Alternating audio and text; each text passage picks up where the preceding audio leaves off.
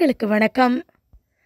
இரவு நேரத்திற்கான ஐரோப்பிய செய்திகளின் சுருக்கம் பிரித்தானிய மாணவர்கள் வீட்டிலேயே இருக்குமாறு அறிவுறுத்தல் முப்பது பாகை செல்சியஸ் வெப்பநிலை பதிவாகியுள்ளமையினால் பிரித்தானிய மாணவர்கள் வீட்டிலேயே இருக்குமாறு அறிவுறுத்தப்பட்டுள்ளனர் இந்த ஆண்டின் வெப்பமான நாளாக நேற்று பதிவான நிலையில் மூன்று தினங்களாக இருபத்தி எட்டு டிகிரி செல்சியஸுக்கு மேல் வெப்பம் பதிவாகி வருகின்றமையினால் இந்த அறிவிப்பு வெளியாகியுள்ளது உக்ரைனில் சிறைப்பிடிக்கப்பட்டுள்ள அமெரிக்க ராணுவ வீரர்கள் உக்ரைனில் அமெரிக்க முன்னாள் ராணுவ வீரர்கள் இருவர் சிறைப்பிடிக்கப்பட்டுள்ளனர் உக்ரைனில் ரஷ்ய படைகளை முறியடிக்க உக்ரைன் ராணுவத்துக்கு துணையாக ஐரோப்பிய நாடுகள் அமெரிக்கா ஆகியவற்றின் முன்னாள் ராணுவ வீரர்கள் பலர் போரிட்டு வரும் நிலையில் அமெரிக்கர்கள் இருவரை ரஷ்ய படையினர் சிறைப்பிடித்துள்ளனர்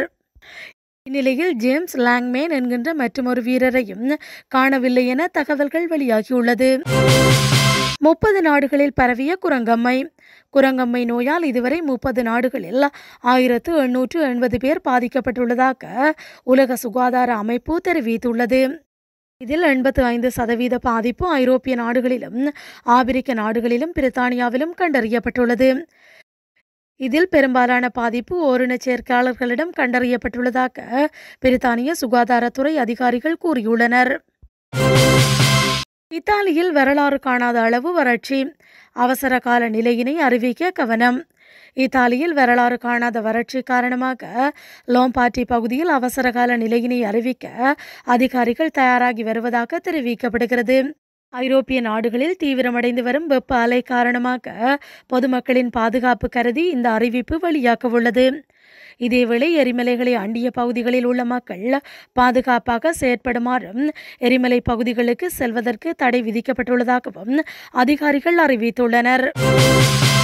ஐரோப்பிய நாடுகளுக்கு காத்திருக்கும் ஆபத்து ரஷ்ய ஜனாதிபதி எச்சரிக்கை ரஷ்யா மீது மேற்குலகம் விதித்துள்ள பொருளாதார தடைகள் முட்டாள்தனமான மற்றும் சிந்தனையற்ற செயலாகும் என ரஷ்ய ஜனாதிபதி விளாடிமிர் புட்டின் சாடியுள்ளார் ஐரோப்பிய ஒன்றியத்தின் உறுப்புரிமையினை பெற உக்ரைன் மேற்கொள்ளும் முயற்சியினால்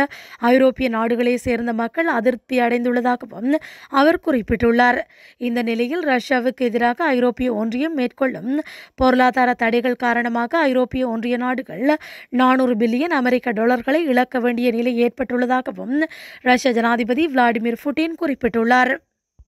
புனித பீட்டர்ஸ்பர்க் சர்வதேச பொருளாதார மன்ற மாநாட்டில் உரையாற்றிய போதே அவர் இந்த கருத்தினை வெளியிட்டுள்ளார் உக்ரைனுக்கு ஏவுகணைகளை அனுப்பும் டென்மார்க்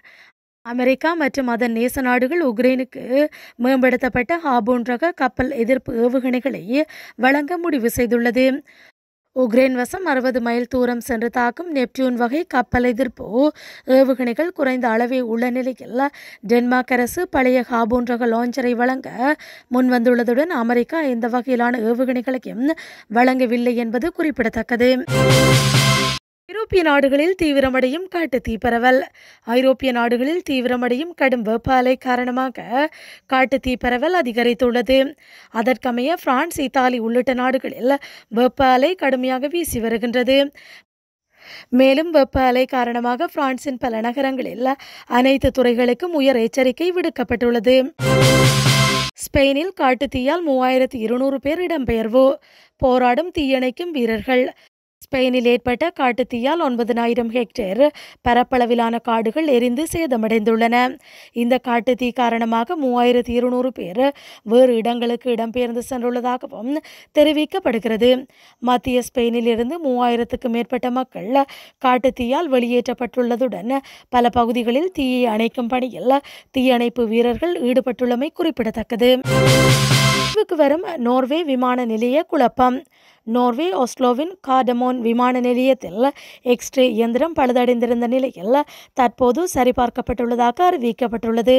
இதற்கமைய ஐரோப்பிய விமான நிலையங்களில் பயணிகள் தற்போது அனுபவித்து வரும் நெரிசல் பிரச்சனைகளை நோர்வே தவிர்க்கும் என எதிர்பார்க்கப்படுகிறது இந்த கோடையில் நோர்வே விமான நிலையங்களில் பொதுவான தாமதங்கள் மற்றும் வரிசைகள் காணப்படாது எனவும் தெரிவிக்கப்படுகிறது